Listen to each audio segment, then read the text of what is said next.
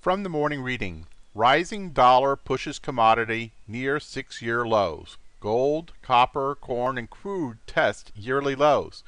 Weakness in metal and energy shares are starting to weigh on the broader market. S&P 500 retests support at its 200-day average. The commodity sell-off has been quite broad and includes industrial and precious metals, energy prices, and agriculturals. Several of those markets are testing six-year lows. The S&P tests its 200-day average. Going into this week, the S&P 500 was up against chart resistance along its summer high and in a short-term overbought condition which was starting to weaken. This was shown first by its 14-day RSI line starting to retreat from its overbought level at 70. That line is nearing its first potential support level at 50. At the same time, the price bars show the S&P 500 pulling back to initial support at its 200-day moving average, around the um, 2060 level. Daily MACD lines have turned slightly negative for the first time since late September, which also reflects short-term weakness. The fact that weekly MACD lines are still positive, however, is supportive to the broader market uptrend.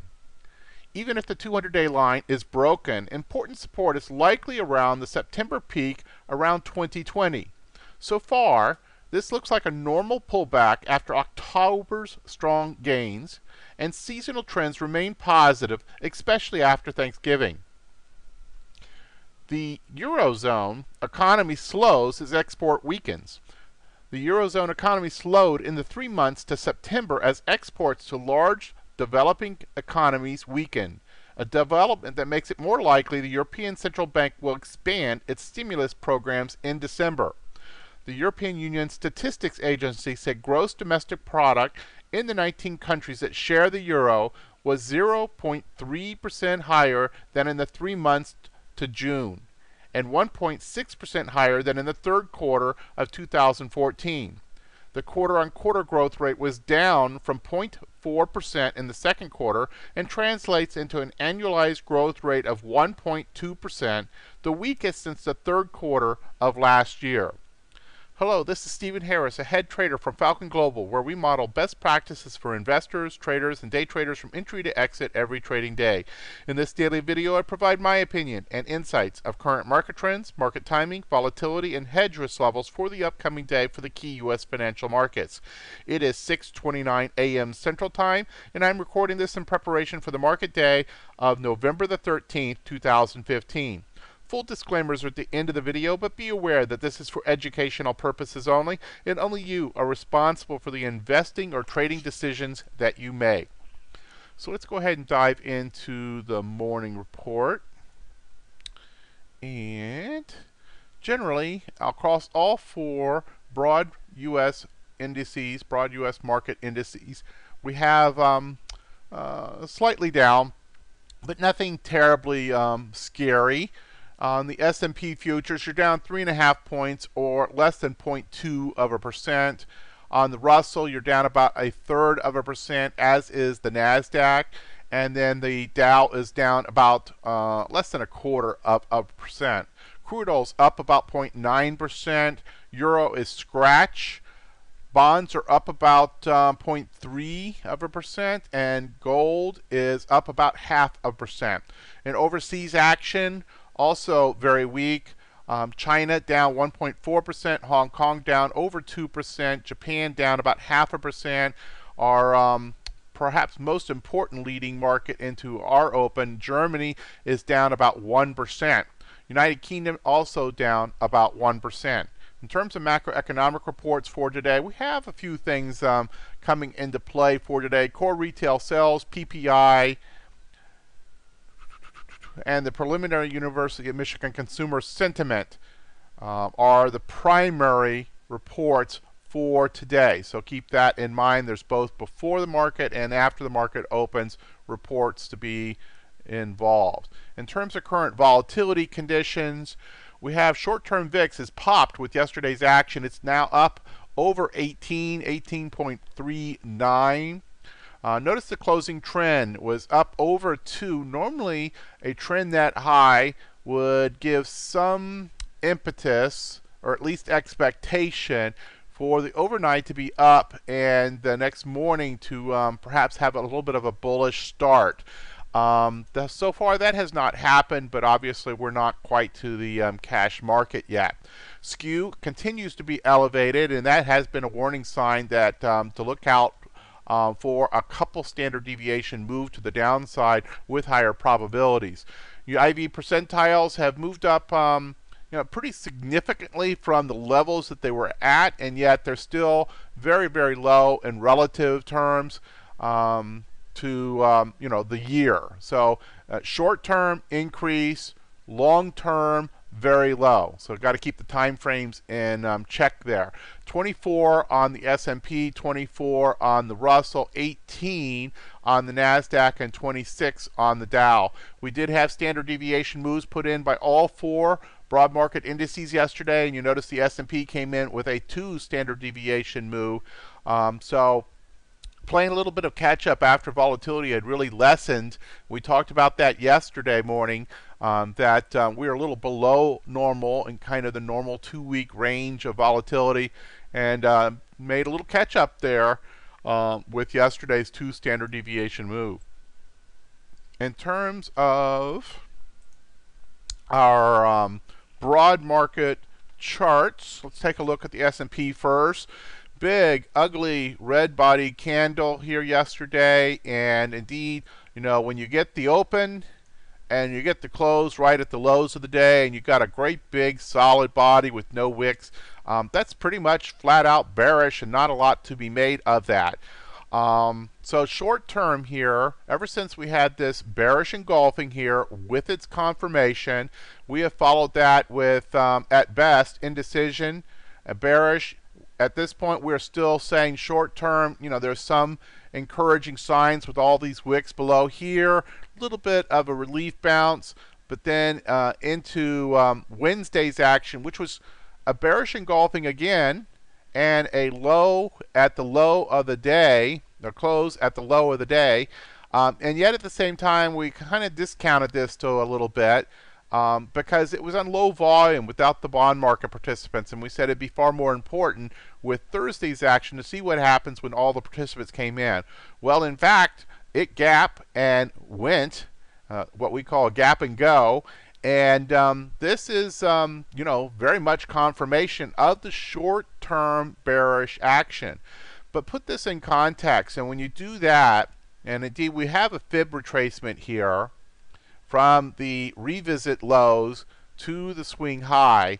And in the big picture, after you've got a move this large, some 250 points, this retracement here is still even with this action uh, of multiple days, including the big body of yesterday, it's short term bearish, but on the intermediate term, this has done nothing to hurt the um, the intermediate term bullish posture. And indeed, you could have a retracement all the way down here into the 2000 area. And many people are pointing to support of importance in the 2020 area, and then of course in the 2000 area. If um, if we were to break this 50% retracement, then this would start to become, you know, far more serious uh, and ominous. But at this point, um, this looks like, as the morning reading indicated, you know, something of a just bull market pullback slash correction, and it has not been anything yet to um, to to sound more ominous than that. At the same time, we certainly are not happy with a, a candle like this, action like this, volume like this. And, uh, you know, we take that as a warning sign and we kind of get our antenna tinkling a little bit and we watch for additional signs and we're certainly going to start watching for where does support come in and where does that support become confirmed and we see that bounce develop. Uh, that for sure is in play. In terms of the Russell big big weakness here as well similar pattern gap and go. NASDAQ also, a little different body here, but um, also um, a, um, a gap and then it backfilled, filled the um, daily gap, but then dropped. And um, so the bears definitely were controlling that. You notice in a relative terms, the bodies on the Russell, the NASDAQ, and even the Dow um, this is actually still less than a standard deviation move here, though it was certainly was uh, one of the larger moves uh, of the day. But all these others, you know, very much same kind of patterns with um, big red bodies, uh, you know, dominating the conversation. In terms of VIX futures, as you would expect, um, this was a pretty significant action yesterday. This is yesterday's candle. This is futures, so this has been already open for today. That's this candle here. This right here popped up through what we call the bullish zone. We think of bullish volatility as the 12 to 18 region, and this popped up through that you know 17 resistance area that had been uh, in play for a couple weeks and um, closed at over 18 and is up in the um, more worrisome bearish kind of zone. So certainly volatility is confirming that this um, increased um, instability to the market is present and so far is giving confirmation in the early part of today. So we got to very much keep that in mind. In terms of our daily report, we're still phase three. And remember one thing to keep in mind, I was thinking about this this early this morning, is when you get these um, uh, very bearish short-term trends, you have to kind of keep the time frames in mind. And always if you listen to somebody whether it's myself or uh, other news sources or even into the you know the CNBCs of the world and stuff like that um, you always have to keep in mind what is the time frame that they're talking about and um, especially if you're listening to technical analysis and where somebody's actually really being specific and dialed in uh, what time frame are they referring to? Well most of my daily report is anchored on the intermediate trend. And uh, that's measured as um, days to weeks. And um, and perhaps you could say one to three months is uh, probably the best definition, whereas short term would be days. Okay, as in you know the next several days would generally be the definition of short term. Intermediate term, you know, one to three months. Long term, you know, longer than um, perhaps um, um, three months is um, probably the way you would kind of think of that in terms of analysis. So IBD status still is in a confirmed uptrend. The accumulation distribution score for the S&P did drop half a notch to a B minus. The Nasdaq remained the same at a C plus. The GMI index also dropped to a 4 out of 6, but the buy signal does remain intact, though that author continues to remain in cash through this entire um, recent upswing. Primary market condition remains in a neutral bear.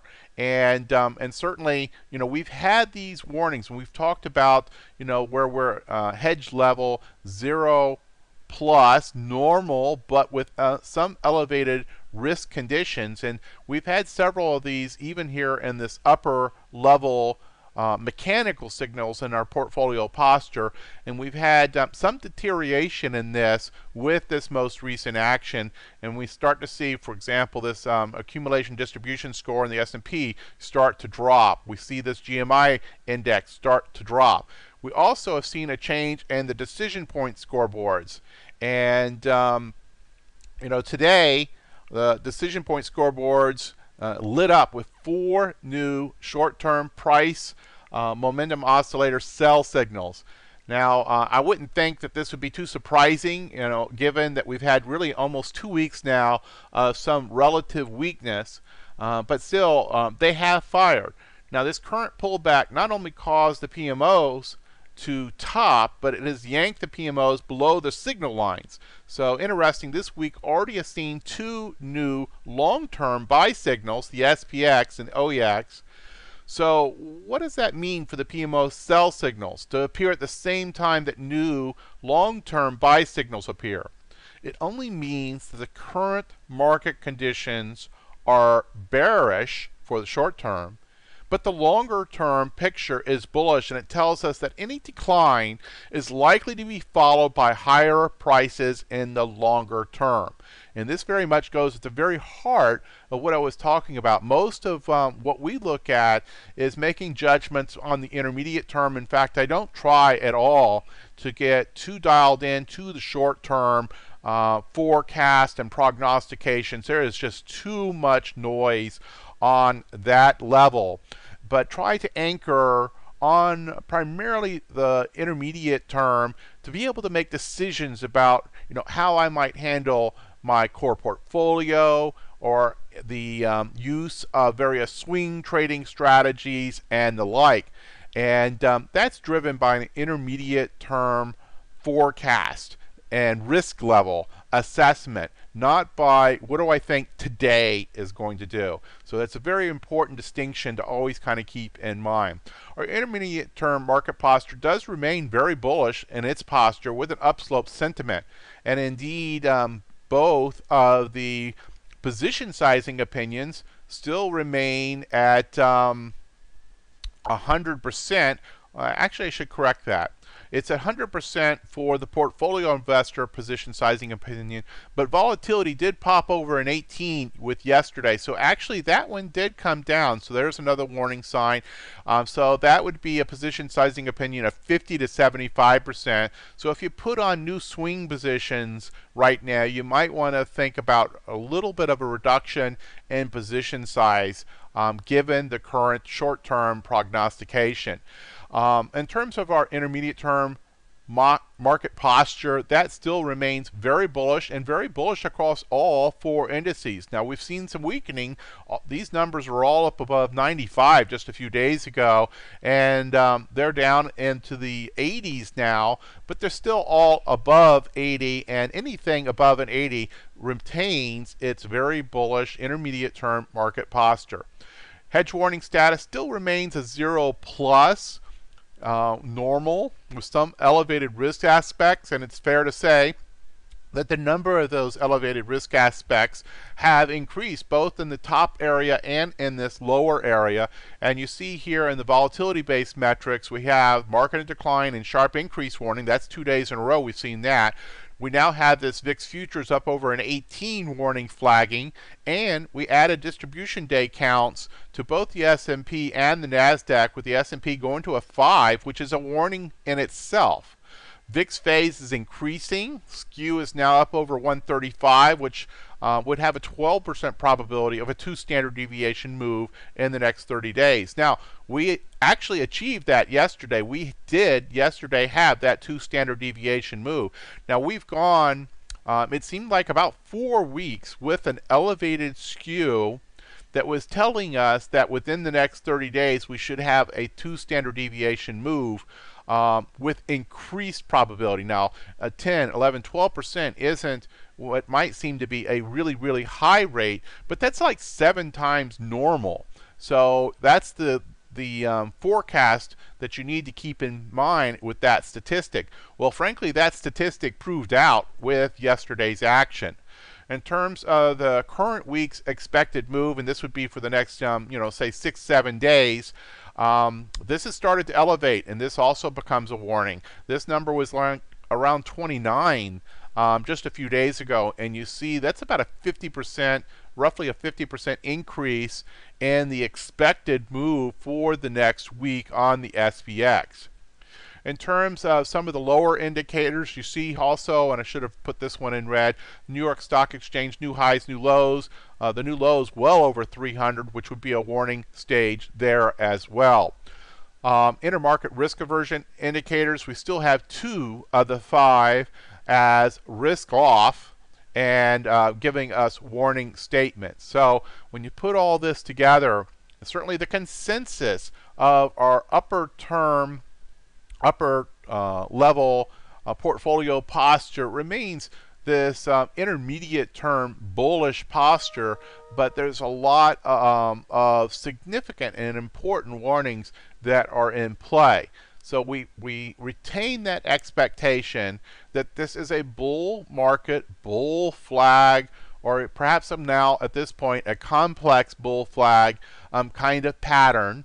But at the same time, the expectation is that new higher highs will eventually um, come back into the market and that this is nothing more than that pullback. Not quite so shallow as perhaps we would have expected a week ago, um, but um, still in the scope of things, especially in the scope of a 250 point up move uh, on our intermediate term, that this pullback in proportional size is still nothing to be particularly scared about but we have lots of increased warning signs coming in, and that's not to be ignored.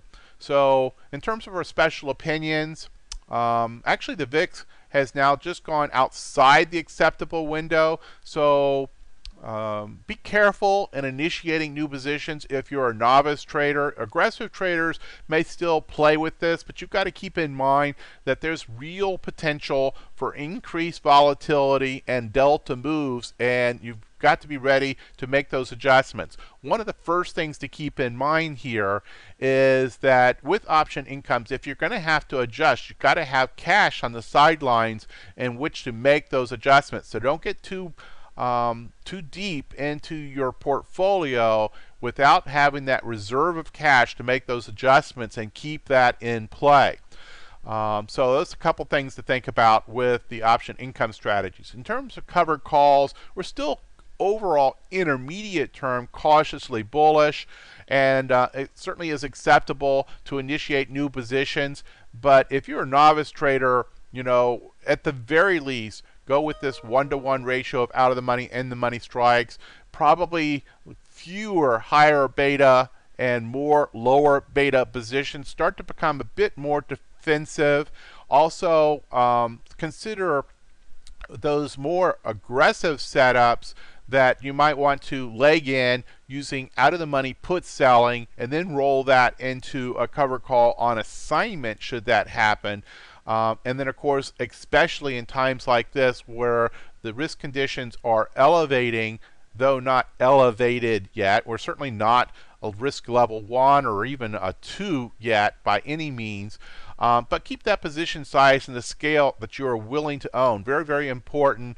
Um, I was looking myself yesterday, the number of um, core puts that I have on, and um, indeed, I increased some of my cash on hand by closing out some profitable bearish um, setups that were coming in uh, to targets and raising the cash. So if I should need to have, um, you know, the ability to accept assignment of a number of these core puts, I'm prepared for that. In terms of put selling, it's still cautiously bullish. Can put on new core port, port, portfolio positions, and certainly I'll be looking at a number of those today.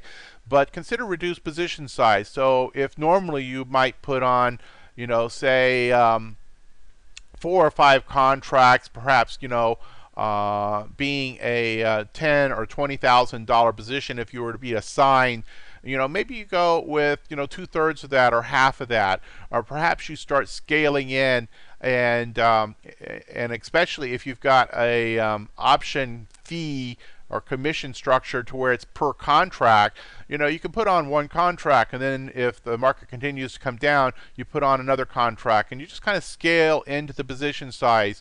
You perhaps spread that position out over time. So instead of being five contracts all on the same expiration date and the same strike, you might look to spread that out over, you know, two or three expirations and to spread those um, contracts over a number of different strikes. So a number of ways to consider in diversifying and spreading your risk around while still being in play because we are still at this point intermediately termed bullish and while we have elevated risk factors and we start using some of these tools in our box that allow us to diversify risk and to keep that in mind uh, it's not yet the kind of condition that would say, you know, just shut down and step aside.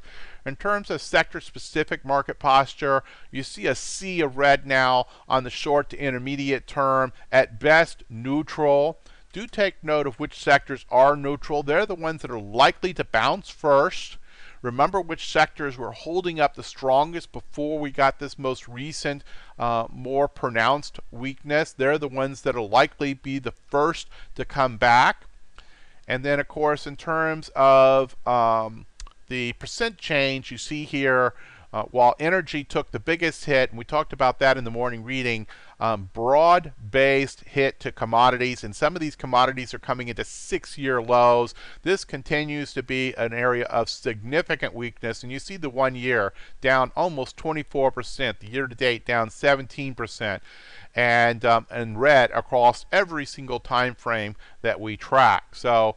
Um, if you thought the bottom was in on the energy complex, if you thought the bottom was in on crude or even gold, um, that uh, that kind of value play investing is one that um, can be very, very difficult, um, especially if you've got any kind of short-term horizon, kind of swing trading horizon, uh, because um, trying to buy value means that you have to accept that you might be wrong and wrong and wrong and wrong and wrong before you're finally right.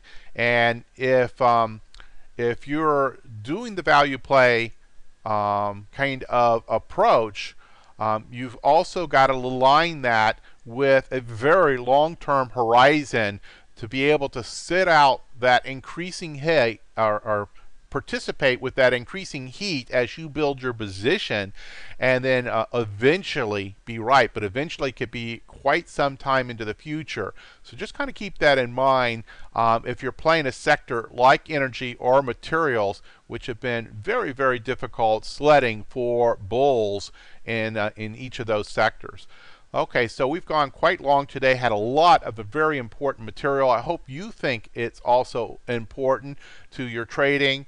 And indeed, if you found that what we're offering here with our free uh, market preview is helpful to your trading, the way that you can, in quotes, pay us is to acknowledge us through the social media. And on YouTube, obviously, you can subscribe to that channel and by doing that, that alerts you when content is posted. So um, uh, now, frankly, once it's posted, if you if you wait three or four minutes, um, you'll get a higher quality resolution, um, especially if you're watching in high def. Um, you know, just because it's been processed and posted doesn't mean that um, three seconds later you'll have the prettiest picture. And many of our graphs and other items uh, have, have a lot of um, fine detail to them. So it's usually best to wait two or three minutes, let that get fully processed and loaded up. Um, but once you get that notice um, from the YouTube email um, for the subscribers, that gives you the heads up that that content has been posted for that morning and you can jump on that. Um, also, you can like us on YouTube, you can retweet us to your Twitter followers, to your StockTwit followers, etc. Emails can go to support at falconglobaltraders.com. And uh, obviously, I'll slide through this. You can hit the pause button if you need more time to review this. I'm not going to spend any more time on this today. We've had a long video. But these are some of the um, other things that are going on and uh, additional opportunities that are available. You can see the websites here or the email addresses to be able to um, inquire for additional information. Disclaimers as always, hit the pause button if you need more time to review this. And we'll see you back here on Monday morning for the Falcon Global Market Preview. Good trading.